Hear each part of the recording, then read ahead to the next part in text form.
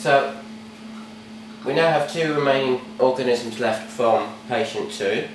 We have organisms C and D. You'll know from the gram stains that we've done that these are both gram-negative organisms. And these organisms have been grown on MacConkey agar. MacConkey agar is a semi-selective agar readily used within the laboratories and it is used to isolate your Enterobacteriaceae, so your gram-negative organisms primarily, but not entirely.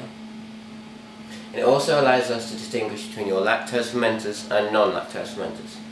Lactose fermenting organisms will grow pink, in this case as you can see for isolate C, and isolate Z has not gone pink and is therefore referred to as a non-lactose fermenter. Referring to your handbook, you'll see from the flowchart at the back that we need to differentiate between these two organisms. And now you know which is a lactose fermenter and a non-lactose fermenter, you are able to do a urea test on the non-lactose fermenter.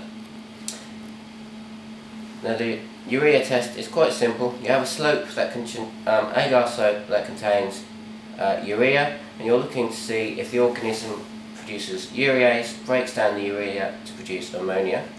And if it does, you'll get a pH change and the media will change from a slightly orangey colour here with its negative control to pink as indicated by the positive control. This test takes a couple of hours to um, occur.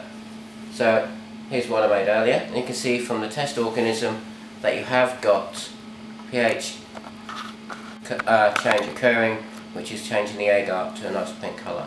Therefore, organism D produces urease.